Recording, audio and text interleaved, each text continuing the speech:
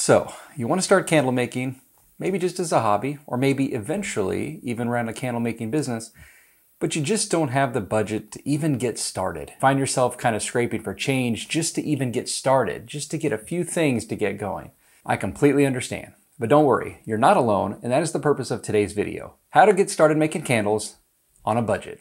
Hi everyone, my name is Wade Thomas. I'm the owner of Black Tie Barn Candle Company. Thank you all for being here as usual. But if you are new here and you are interested in any candle making or candle business content, please feel free to subscribe to the channel and don't forget to turn on that bell for notifications so that you don't miss out on future videos. Okay, so let's talk about how we can get started making candles on a budget. We're all coming from different places with different budgets to get started. You might not have a budget to get started at all, but like most things, it takes some money to get started. So I'm not going to tell you in this video that you can get started candle making for free. I mean, it's technically possible if you can find someone just to give you some supplies to get going. Sure, you could start dabbling, but it's going to cost you some money to get going. However, it doesn't have to break the bank. I'm going to tell you how you can get started for not a whole lot of upfront investment. Some of you might already have the amount you're going to need to get started after today's video, Others might just need to save on a few expenses, cut back, or save up for a few weeks or a month, and you should be good to go. So over the course of this video, I'm going to share with you a few tips that help keep your costs low, especially in the early stages and getting your feet wet with candle making. And then I'm also going to give you a, let's call it a $250 candle making kickstart. It's it's going to be a little bit of a guide, a little bit of a plan for you to get started for just a couple hundred bucks, and I'm going to even show you that that $250 can go a long way. Not just to get started and learn a little bit about candle making, but also to do some testing, get some experience, grow some confidence, dabble with a few different fragrances, and even have some product remaining at the end. Let's go ahead and get started. So my first tip when you get started candle making is a very common tip that you're going to hear from other candle makers and other candle making educators, and that is to start off with a kit. What is the purpose of the kit? It's just to get you some exposure to the industry and to making the product itself. It's almost like a handcrafted crash course just to make sure you're even going to like it. The whole purpose of the kit is to see if you're going to enjoy making candles because if you don't enjoy the process, nothing else past this point will even matter. There are a lot of candle making kits out there with a lot of different types of waxes and different styles of candles. And so definitely shop around before you just pick the first kit you see. And those kits are going to range anywhere from 20 bucks up to 50 or 60 bucks. Just give it a shot. See if you actually enjoy making candles. And you're going to learn a little bit about process as well. So the kit doesn't only just see if you have any interest in candle making, but it's also teaching you along the way.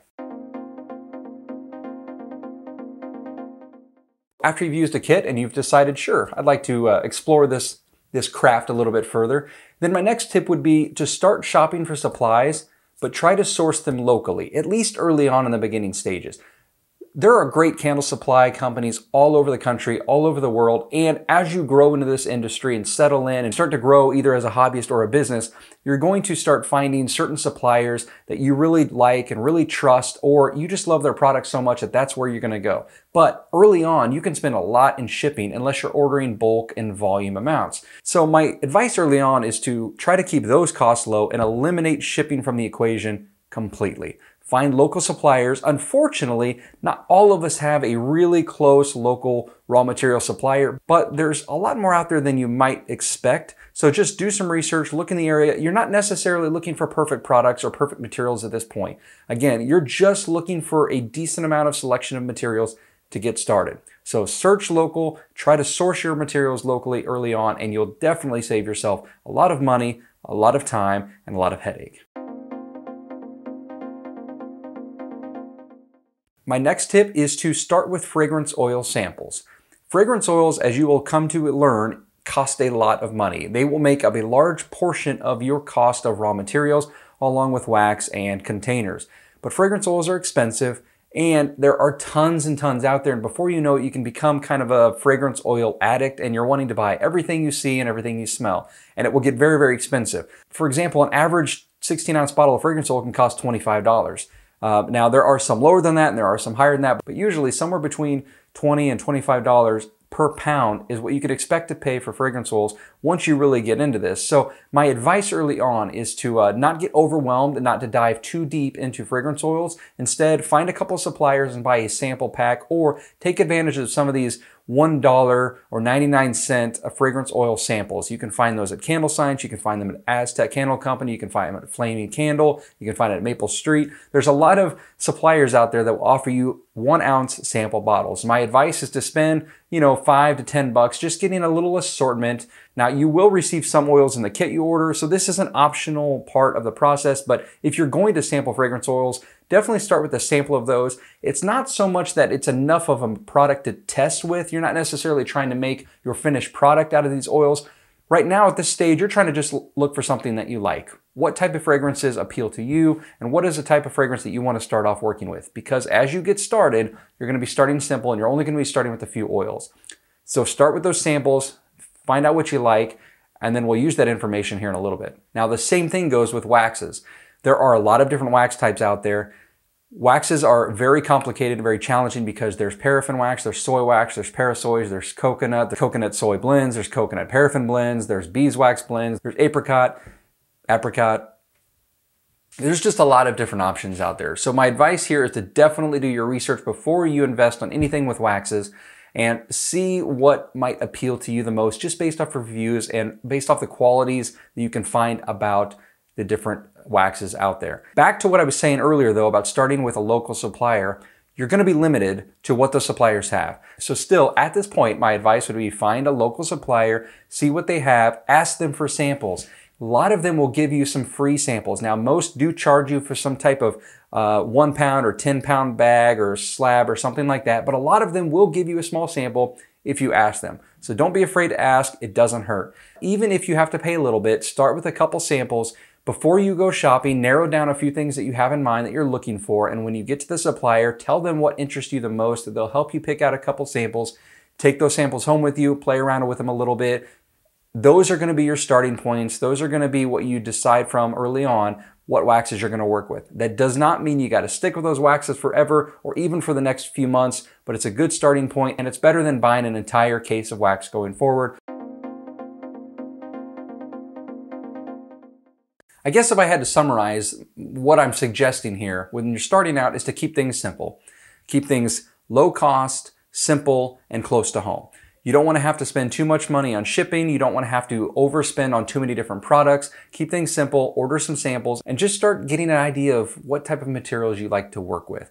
Don't forget that very first kit you did is the key to all of this because that kit alone will tell you did you like working with the wax that was in that kit? If so, you could start with that wax. If not, then you know to try a different wax. Also, that kit will include some fragrance oils that you may or may not enjoy. And they should also include some wicks, so you have at least a little bit idea of what wicks to start with or not to start with. Again, you are going to learn so much over the first few months and the first year of candle making that it will blow your mind. But if you're just getting started, keep things simple for now. Do not get overwhelmed. It is very, very easy to get overwhelmed with too much content, too much information. There's channels like this, there's Facebook groups, there's so much information out there that you can get information overload. So my suggestion is to watch, research, and learn, take notes and document. But when it comes to starting out with the actual process, Keep things simple early on. There's plenty of time and plenty of room to grow as you develop. So I also promised you a $250 candle making Kickstarter to really, really start diving in with some candle making.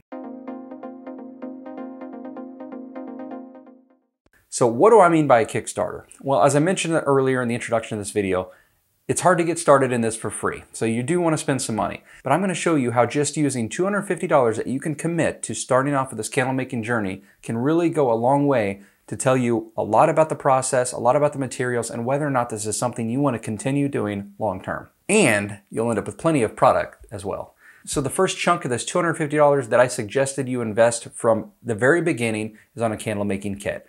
On average, I'm going to go ahead and say that that costs $40. Again, you can find them as low as 20 or 25, and you can find them up to 60 or even higher, depending on certain kind of styles, jars, and different kinds of waxes. The next thing is after you've tested and sampled some waxes, I'm going to ask you to select a 10 pound slab of wax from your supplier that you want to start with. This can be one of the waxes that you've already tested and sampled before that you liked, or it might not be one of the ones that you've already sampled because you didn't like those waxes very much and you're simply choosing this based off of reviews or suggestions from the supplier. Either way, get yourself a 10 pound bag or slab of wax. Next, I want you to settle on two fragrance oils to start with. This might be from some of the samples you've used earlier. This might be from uh, the kit that you've already used, or you might just find two that have been highly recommended to you to start with. And I would suggest buying two eight ounce bottles of fragrance oils, two different fragrance oils, Eight ounces is plenty. There's no need to get a 16 ounce bottle or certainly anything larger than that at this point. The next is to buy 24 jars. Now, typically the best way to do this is to run up to your local Walmart or some store like that and just find a 12 pack of ball mason jars or jelly jars or simple straight sided jars, anything like that, somewhere in the kind of half pint or eight ounce type of size jar. Those are usually going to be found in like the canning section at your local store. Then of course you are going to need some wicks and some miscellaneous supplies like wick stickers, maybe some type of pouring pitcher if your kit didn't come with it, some random supplies like that. I'm not going to get into the details of making the candles in this video. I have plenty of videos on making candles on the channel. Check them out. And I even have another video talking about the candle making supplies to get started with. That video includes kind of required or, or needed supplies as well as some optional ones that just help with the process. I will link that video as well up above and in the description if I remember. Uh, but that video can help you get started with some of these supplies as well. And then using some of the information you've learned either from the suppliers or candle making videos like on this channel or Facebook groups or wherever and make your first set of candles. Now I would start with just a couple of candles at a time because you're trying to learn as you go. And the idea at this stage is to simply start experimenting, start testing, and start making some candles on your own. So I should say before we go any further that the materials you've bought to this point, 10 pounds of wax, two 8 ounce bottles of fragrance oils, 24 jars, that's enough materials to start making around 20 to 24 candles. The jars that I recommended to you will hold about six to seven ounces of wax, meaning a six to seven ounce candle. Uh, and that means that 10 pounds of wax will get you somewhere around 20 to 25 candles. The two eight ounce bottles of fragrance oil will be enough to make that many as well. So at this stage, you can already make about 20 to 25 candles, plus or minus a few, right out of the gate. And at this point of your candle making journey, most of those are going to be testers and going to be experimented with and it'll be in scrap. But either way, you've still got a chance to make about 20 candles. The next tip is to simply rinse and repeat. Buy another 10 pounds of wax. It could be the same wax if you were happy with it, or if you weren't, buy a different 10 pound of wax and let's try the process again. Also choose two different fragrance oils this time. And then of course, the other supplies you bought are going to be reusable, except you might also need some more wicks at this point. You're going to make another batch of 20 to 25 candles. You're going to test those candles again. And so at this point, you've now made 40 to 50 different candles. And the key now is to start testing and testing. You should already be noticing which candles are fails and which candles are passes, which ones are burning the best, which ones need improvement. And you're really starting to dial in already with the 40 to 50 candles you've made and the materials that you're using you're starting to learn a lot about your wax, a lot about your oils and your wicks. You've already learned a lot in this process to help you with the next batch and the next batch and so on. So let's add up what we've spent to this point. So out of the $250, so far we've spent about $40 on the candle making kit.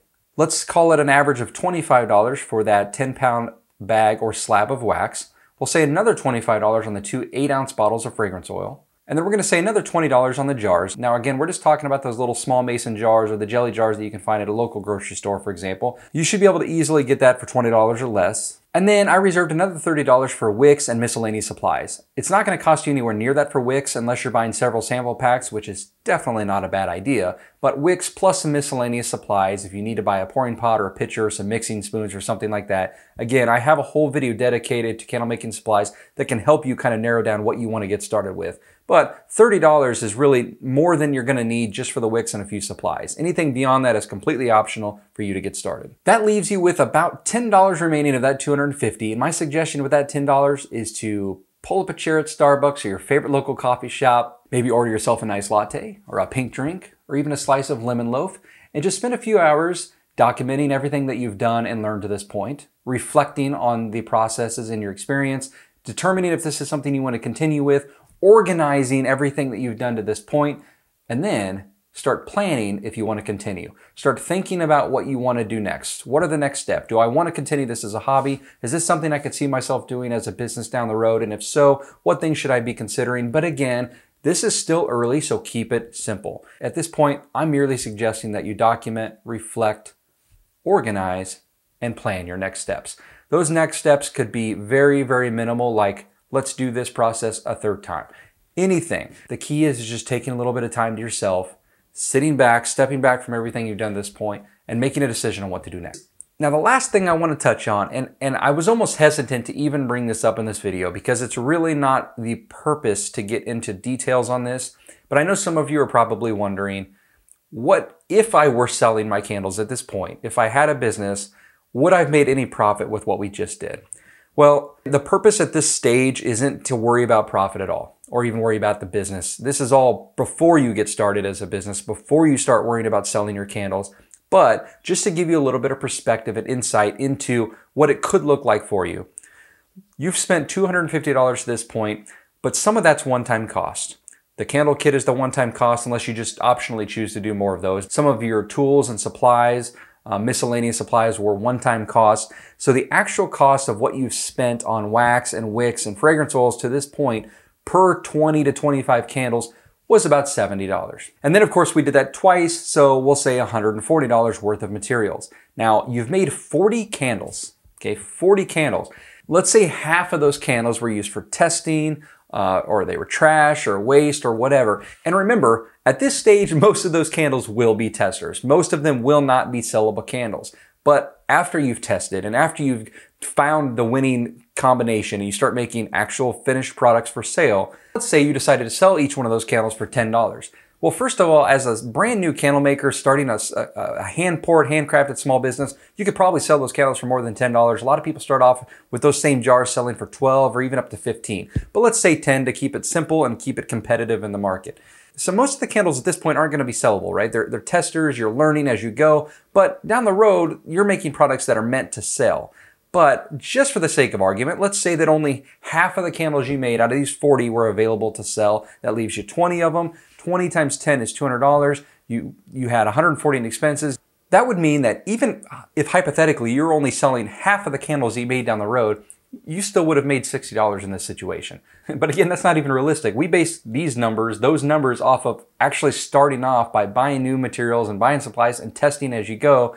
Down the road, when you've got an effective, efficient process of making candles to sell, that number is only going to go up. I just wanted to give you a little bit of insight that even in a testing, even in a world where you're still learning as you go, even if you had only 20 candles available to sell at the end of this process, you still would have made a profit. So I hope it gives you a little bit of encouragement, a little bit of insight. And I really oversimplified that. I understand that there's a lot of other things involved we didn't talk about. And, and I'm fully aware that I'm oversimplifying the cost and, and the the profitability of this, but I just wanted to give you an idea of the numbers we are working with. Anyways, I hope you all enjoyed this video. I want, I want you to feel confident about being able to start candle making on a budget. We all have different budgets to work with, but that doesn't mean you can't get started in some way. I would number one suggest with starting off with a kit just to make sure you enjoy it. Just develop some type of systematic plan like the one I outlined for you. That way you can commit a set dollar amount like $250 or maybe 500 and you can have a detailed outline plan of what you're gonna do with those dollars and how you're gonna put them to work for you. Thank you all for being here. I hope you enjoyed this video and I will see you next time.